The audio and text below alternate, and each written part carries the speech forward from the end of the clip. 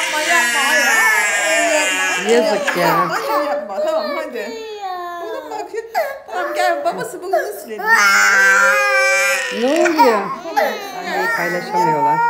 Tamam annem tamam gel. Tamam anneciğim. Kerem sen büyüksün oğlum. Gel annem gel. Kaan Anne, Kerem abin ama abin de abinin annesini özlemiş. Ha ne oluyor be ne oluyor? Tamam. Tamam. Ne oluyor oğlum? Anneni mi aldık? Abin anneni mi alıyor? Tamam tamam. Kerem sen gel bana.